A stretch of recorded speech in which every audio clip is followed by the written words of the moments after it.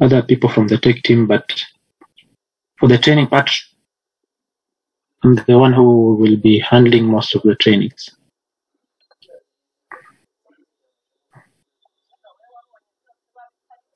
So our training today is, is about uh, the HSA VSS certification, which you guys, uh, if you have been a part of the training as we began, yeah, I think you're conversant where we are heading to and what we are doing.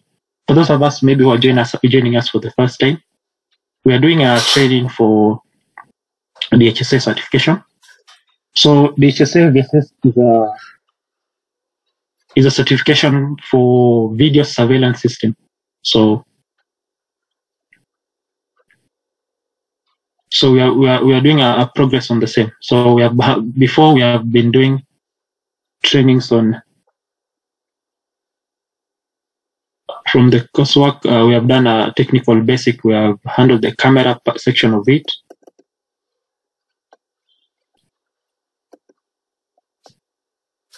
So this these are the these are the what what our course entails. So yeah we did a introduction to cctv system. We have done introduction to camera. Now we'll be doing a recorder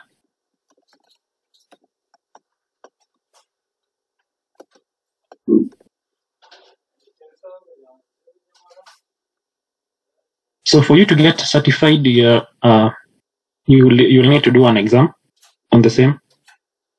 So the exam uh, is both theory and practical.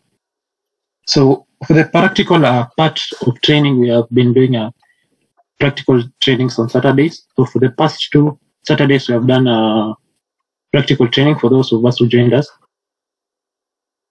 And uh, so we'll be doing practical trainings on Saturdays, but for tomorrow's case, we'll not be doing the practical part of it. We'll be doing, uh, we'll still do online because I realize there is quite some, a lot of information we need to cover for the theory part. So we need to hurry up. So today's session will be three sessions of 30 minutes each.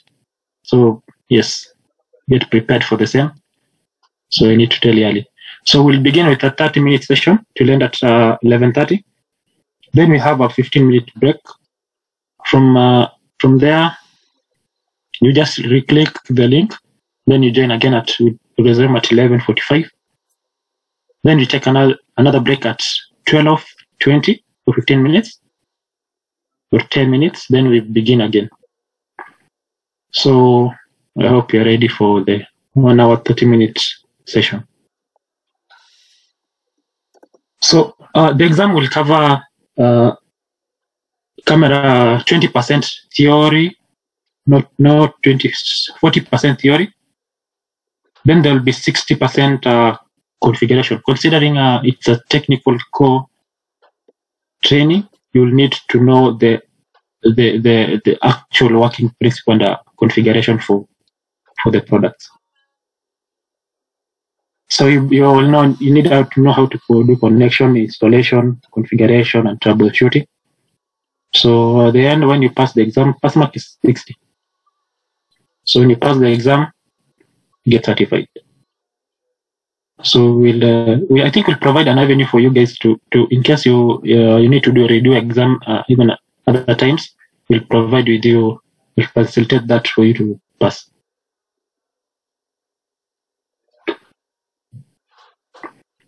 Okay, then now we can uh, we can begin on recorder. We have handled before basic training. So for the camera section part of it, we have complete we are complete with that. So for those of us who joined us on uh, Saturday, we were able to do the recorder part of it. So they're a bit ahead of the same. And also did a practical part of a recorder. So today we're going to do the, the recorder section.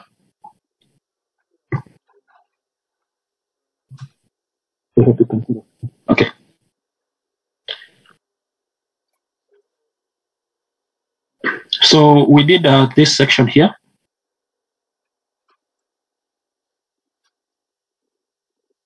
So let me highlight it. So we have covered this part of it, this this part uh, of the of the training. Now we are at this part where this is the NVR part of it and the recorders. So the recorders entails uh, NVRs, EVS, and uh, DVR. So an NVR is a network video recorder, and EVS is an embedded video storage.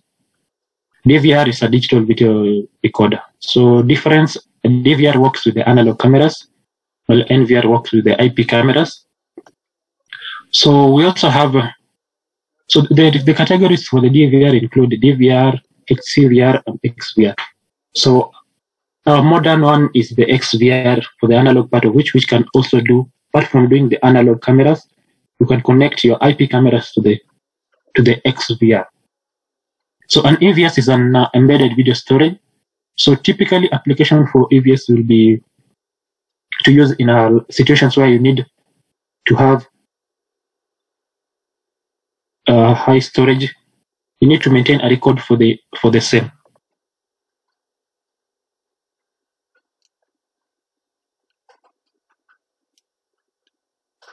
So why, why in the cases where you need help to recordings of videos for longer distance. So EVS is will have uh, hard disk slots where you have you have capacity even to up to 80, 84, 96 hard disks. You can check that on our website.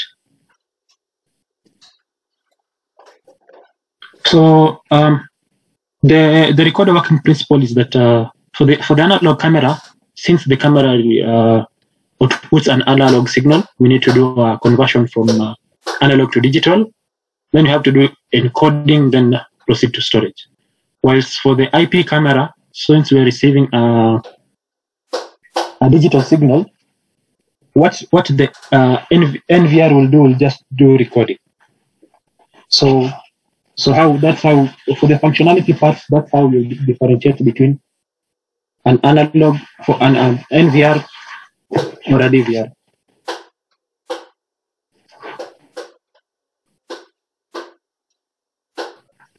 So the working principle in detail is the that uh, for the analog uh, camera for the DVR you have the analog camera at the front end, then there is encoding, then there is recording. So basically, this is the information that I've summarized here is into detail is here.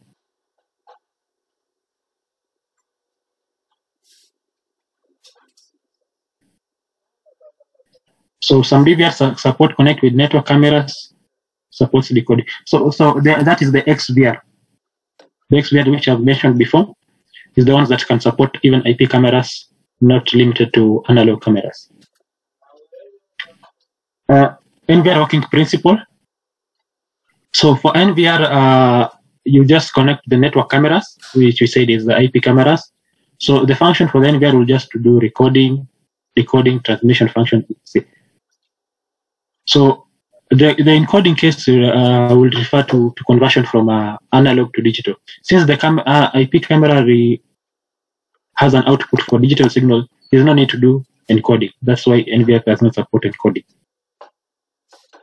And, and cannot connect to analog cameras. So maybe you can consider at times, at times uh, you have clients where they have a old system and maybe you want to integrate IP system, what you can opt for is an XVR because it can support both the analog cameras and the IP cameras.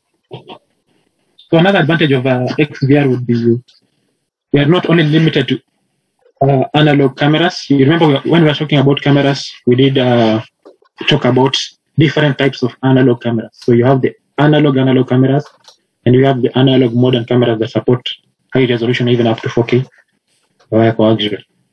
So the, the, the, the advantage of XVR will be that case. Also, the, but the, the disadvantage of XVR for the cases where you need to do high intelligence and uh, you need to do a bit more of processing of information for AI, you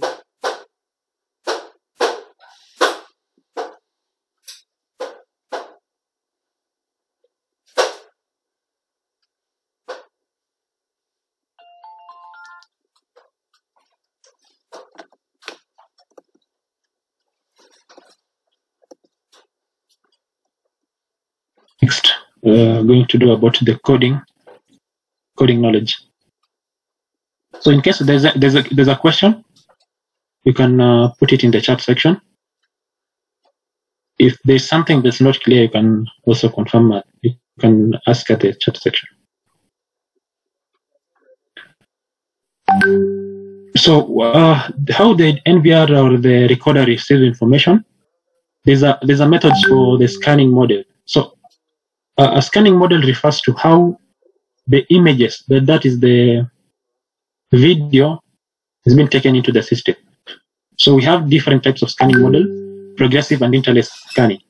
So uh, basically, a video is a is a series of pictures that are shown very fast on your side. That's why we call it frame frame rates. If we if we say 30 FPS or 25 FPS means 25 pictures per second.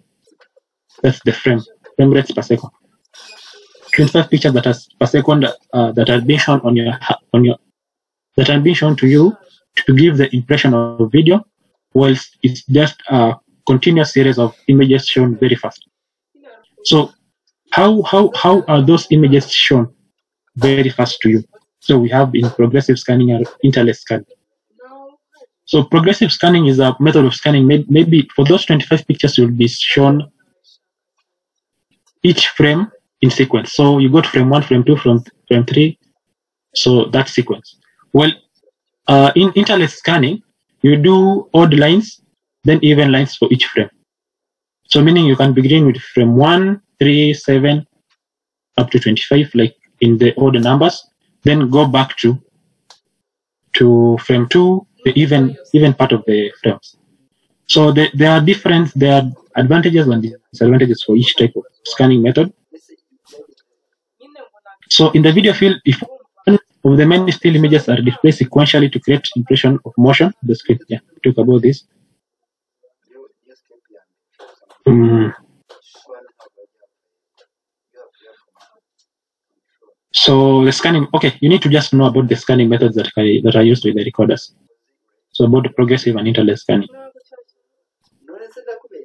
So I hope that is clear. Um, video standard. I think uh, this is uh, when you are setting up an uh, XVR when you, you're initializing or a recorder. Uh, basically,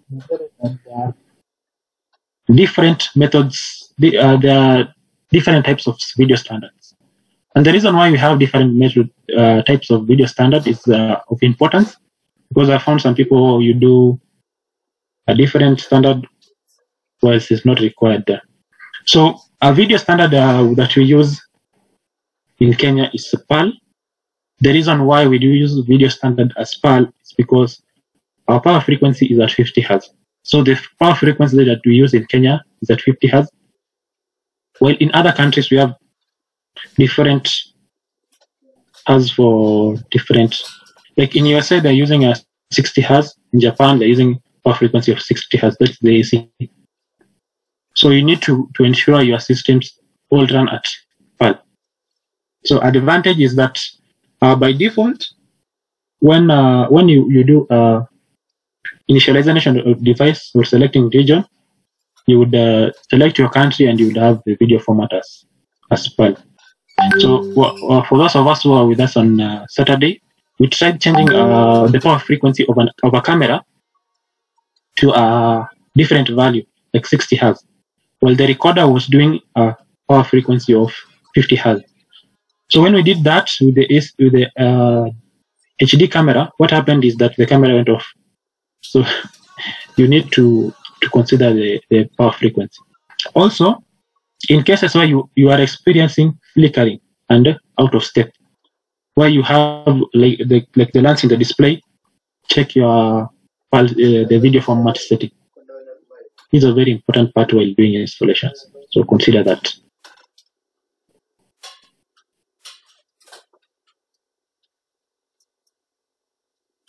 Okay, um, network camera video stream. What is a stream? So a stream uh, is basically the output for the camera. So is the compressed image or data used to evaluate data volume in an instant time. So the stream is measured in bit bit rate. So higher resolution, higher frame rate means more data and greater stream. So the, the stream is the signal that you are receiving from the camera. So if you have higher, higher, higher, higher stream, meaning you have higher quality, higher frame rate. So there are different type of uh, streams that we receive from camera, that is the signal. We have a video stream, audio stream, and a composite stream. So a composite stream is, stream is a com, uh, com, it comprises of video and audio.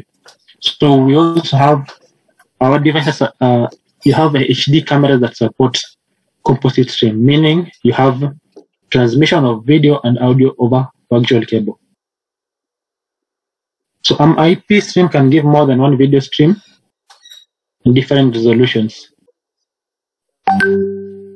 So you you, you, you see when you are when you are doing the for those of us maybe who have experience with the recorders, there is the mainstream and substream. So for mainstream, you'd you'd configure mainstream to be higher resolution, higher bitrate.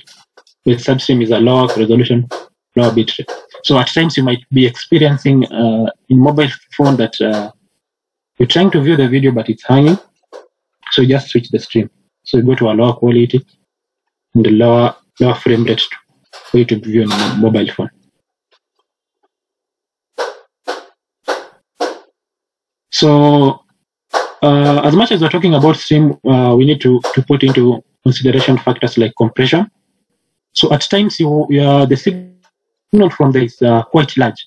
So you need to, to do a compression for that signal and uh, get the optimum or uh, as much as we are trying to reduce the, the, the size of that stream, we still retain quality. So we have different types of compression that uh, our products employ. We have uh, H265, we have we have H264, we have even AI coding. So our latest type of compression that we try to, do to, to, to handle the signal from the cameras, the recorder, we have uh, AI coding, which is not mentioned in this uh, in this training.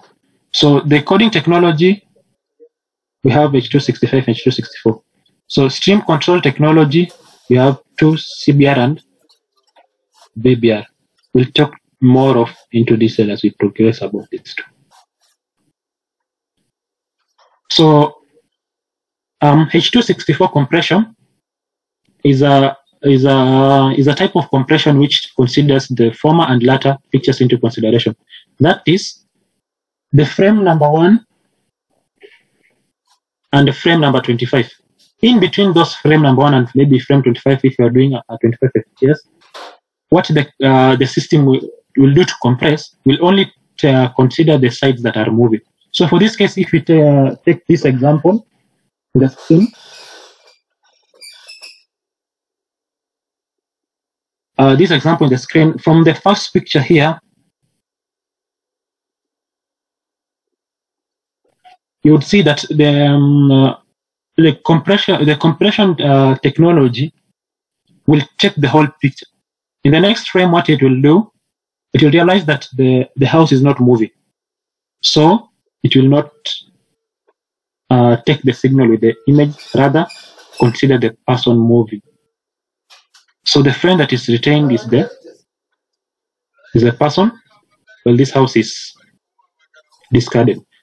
Continue. It, it will continue the same then at last, it will combine the former and the, the first and the last frame and the moving parts of each frame in this in the middle part and create the the output result which is compressed signal.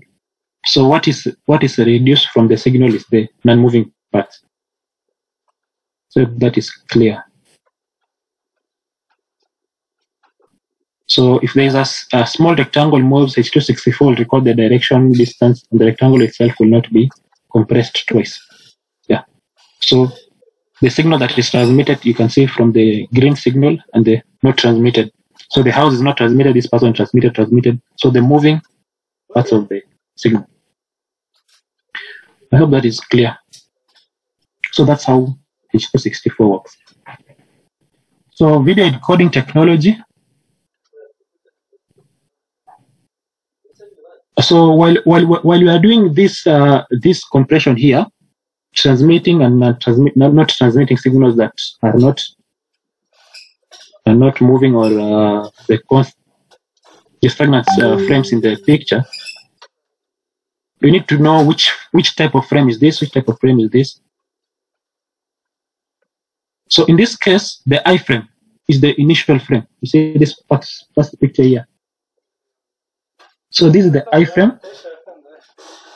Then the frame that is compressed from this case will be the P and the B frame. So the iframe contains full image data. When transmitting the iframe, the stream will be large. When transmitting the P frame and B frame, the stream will be small. So typically, uh, iframe will be located from the first and the last side. So at the last section, it will combine all the frames to create uh, video impression. So P, P frame is predicted picture and B frame bidirectional predicted picture. Only all, all the image information. So this is a bit confusing, but that's uh, uh hope that is clear. So another encoding technology apart from uh, H264 is H265. So H265 and H265 plus. So um, the principle working for for, for for for the compression technology is more of the same. However, when using the H260 high, high H265 or H265 plus, you can see the utilization for the storage is is better. So if you're, if you're using H265 plus, well, in the case where you'd use maybe about 100 hard disk with the H264, you'd only use one hard disk with, is it one or 10? 10 hard disk with uh, the H265 plus. So the better, the better the, the higher the compression technology, the better the hard disk utilization. So whilst doing compression, ensure that you, you maybe set to put your settings to high, high compression. So these are one of the things that you can do on your side to make utilization of hard disk or have more retaining information, apart from maybe doing recording on motion.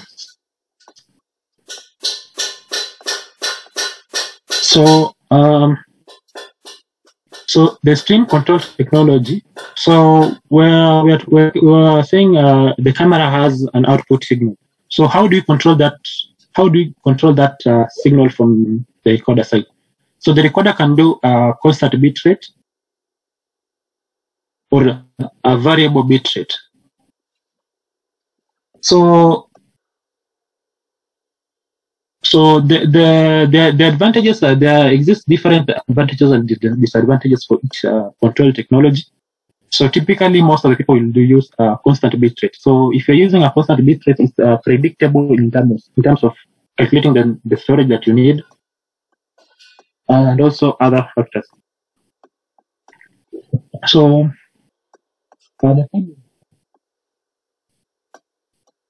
is almost so if the stream ends or like presenting, then uh, you'll just resume at 11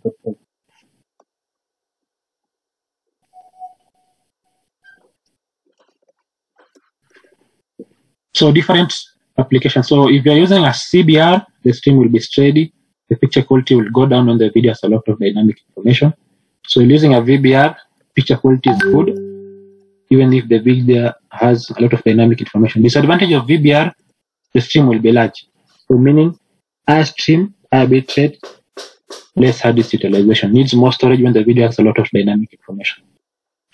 So for cases, so e.g. for indoor scenes, due to less moving objects, Configuration stream is 2 Mbps to meet the requirements. For road monitoring scenarios, due to scene changes, you may need to configure bitrate to 4 Mbps. So if, if you enable a VBR settings on your recorder, you'll be able to configure the the various parameters for quality and uh, the, the bitrate. So next we're going to do hard disk and RAID knowledge. So I hope everything is clear from this section from the beginning about uh, introduction, working principle, and coding knowledge. We're going to do about storage, storage information and HDD and RAID. So hard disk introduction. So we have different types of hard disks that we use. We have PC hard disk. These are normal hard disks that you install in a desktop computer.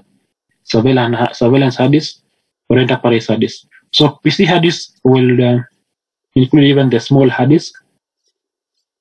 At the moment, the, the employment of SSD uh, with the with the recorders is not there. So, but for the hard disk, we have the big hard disk for the desktop and the small hard disk for computer. So that that small the small hard disk would uh, typically be used in uh, scenarios where you are using a recorder that is the MNVR, the mobile network video recorder. So for MNVR, it will use that small small hard disk, while these other recorders will use that big hard disk. So for recorders, we consider we advise you to use the surveillance hard disk because different types of hard disk uh, adapt to different situations. So for cases where you have a PC hard disk, you would use you would mostly do a lot of reading and a lot of writing. So for surveillance hard disks, you're going to use to do a lot of writing operations. That is putting information into the hard disk. So less reading. So that's why you should have an hard disk that supports supports better reading, better writing capacity while doing surveillance service. Enterprise is HDD, so it's more of the same about more of the same about surveillance hard disk. However, this one is use with uh, complex systems and high-end devices. So the capacity for hard disk is basically how, what size of information the hard disk can support. So we have different different ones about 6, 6 TB, 4 TB, 10 TB. Yeah. Oh, we also have hard disk for Dahua. So Dahua also uh, sells hard disk. So apart from using Seagate and other brands, can use Dahua's because it's optimized for surveillance and for the enterprise cases. So different types of interfaces uh, that the hard disk have. So have IDE, SATA, SAS. So um, I think you can search about this one, but it's not that not not a complex information. Basically, how if you if for for the case where you have an hard disk. um, So you see, at the, at the connection point of the hard disk, we have different interfaces. So we have SATA, SAS, etc. So the, the most one that we use is the SATA interface. Maybe someone can, someone can tell us about the SAS. So hard this hard disk comparison, PC, surveillance, and uh, enterprise. So a surveillance hard disk uh, power requirement is 2 amperes, a PC hard disk is two greater than 2 amperes. So if you're, if you're having a recorder like a DVR or XVR that has 12 volts input and 2 amperes, if you take a PC hard disk, most likely you will damage the the, the, the recorder.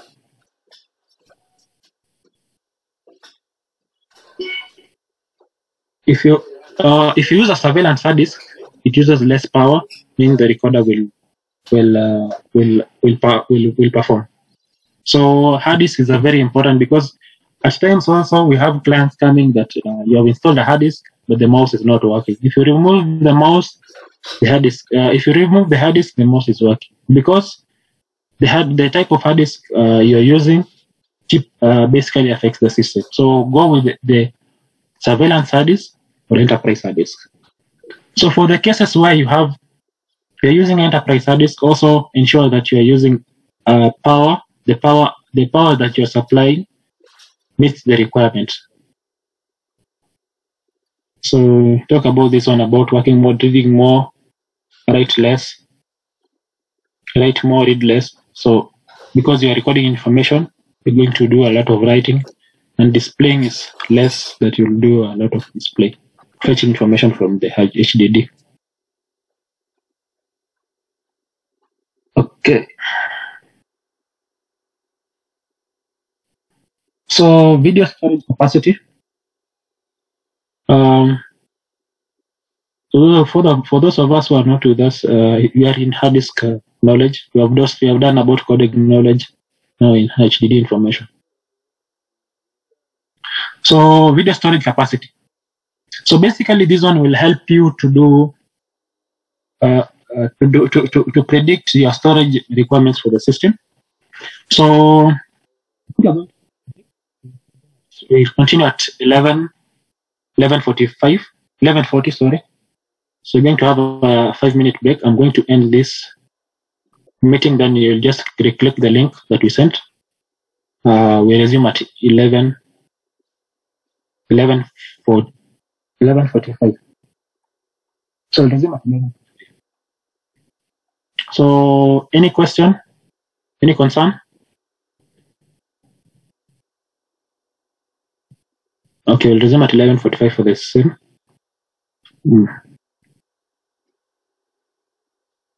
the